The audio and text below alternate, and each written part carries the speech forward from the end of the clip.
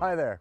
Have you ever wondered what the best marketing plan in a local church is these days? Well, the truth is you are. I am. We are God's best marketing plan. We've been, we've been trying to go door to door these days.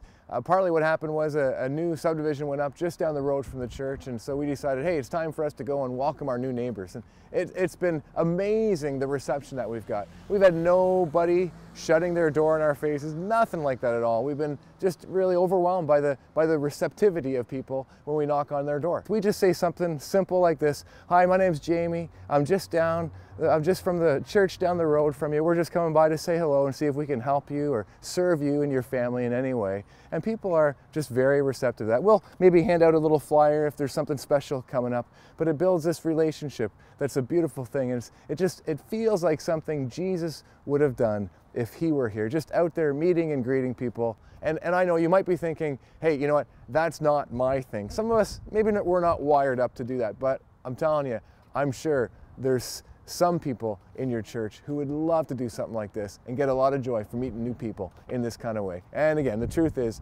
we are God's best marketing plan.